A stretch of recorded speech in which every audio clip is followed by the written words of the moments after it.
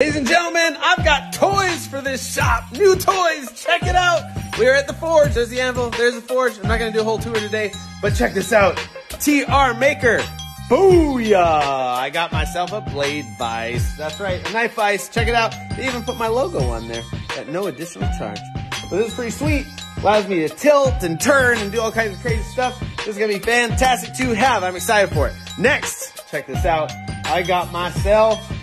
Uh, a new jig. Yes. Mine that I have, uh, I've pretty much ruined it. Oh, I, I don't know. Doesn't matter. I ruined it. But check this out. Right now, I only have a 1x30 right there. Look at this. Ugh. It's like the same size as the damn 1x30. But good news. Guess what Drew Hooper ordered from Ameribrade this weekend? A 2x72 grinder. Hell yeah, I got a 2x72 on the way.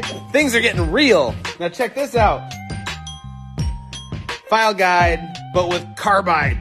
I'm excited about that as well because my file guide up to now has not had that, and so it's all chewed up. Now, the other thing, been using some nicer steels, and I want to have less waste. And so the angle grinder just is a nightmare. So I got myself a porta band and a table. There we go. That's the update of the shop. I cannot wait to make some knives this weekend.